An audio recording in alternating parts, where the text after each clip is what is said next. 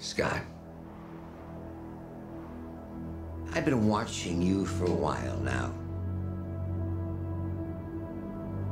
You're different. Now, don't let anyone tell you that you have nothing to offer. Second chances don't come around all that often. I suggest you take a really close look at it.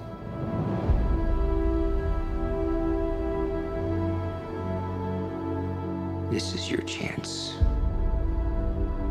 to earn that look in your daughter's eyes, to become the hero that she already thinks you are. It's not about saving our world. It's about saving theirs.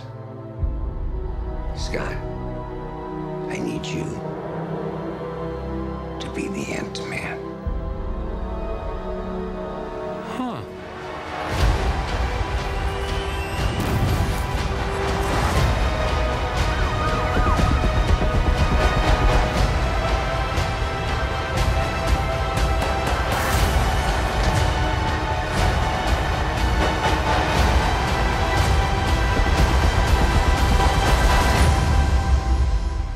One question. Is it too late to change the name?